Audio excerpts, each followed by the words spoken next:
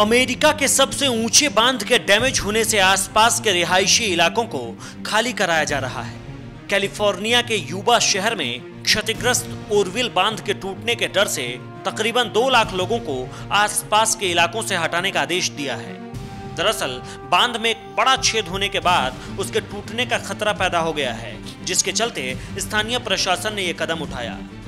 बता दें कि बाँध के आसपास के इलाकों में करीब तेरह फ़ीसदी आबादी भारतीय मूल के लोगों की है। जल्द ही अगर डैम से पानी के रिसाव को नहीं रोका गया तो एक बड़ी तबाही का खतरा पैदा हो सकता है। इस बाँध से होने वाले पानी के रिसाव को रोकने के लिए सेना की मदद ली जा रही है।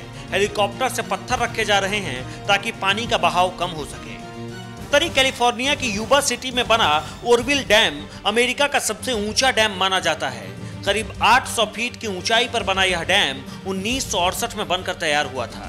अब इस बाँध के टूटने के अंदेशे को लेकर आसपास के लाखों लोगों को जल्द से जल्द जगह को खाली कराने के आदेश दिए गए हैं। कैलिफ़ोर्निया में कई सालों से सूखा पड़ता रहा है, लेकिन इस साल भारी बारिश और हिमपात से जलाशयों में जलस्तर बढ़ रहा है। करीब 50 साल के इतिहास में औरोविल झील पर पहली बार आपात स्थिति बनी है। हर सेकंड एक लाख क्यूबिक फुट पानी छोड़ा जा रहा है ताकि झील में पानी कम किया जा सके।